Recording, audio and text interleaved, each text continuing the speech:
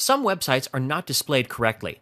This might be due to browser incompatibility issues, problems with the website server, or interruptions in your internet connection.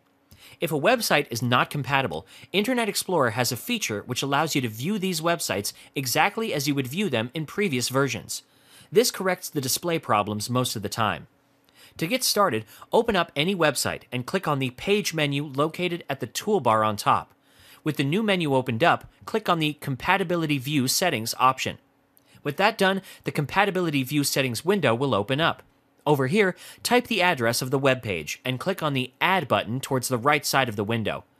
You can also open up the Compatibility View Settings window by moving over to the Tools drop down menu and clicking on the Compatibility View Settings option. An alternate way to enable Compatibility View in Internet Explorer is through the Internet Properties window. First of all, use the shortcut key Windows key R to open up the run command. Over here, type in inetcpl.cpl and hit enter. This will open up the Internet Properties window. Over here, move to the Advanced tab and tick on the checkbox titled Automatically Recover from Page Layout Errors with Compatibility View. With that done, click on Apply to enable the changes made, and then click on OK to close the window.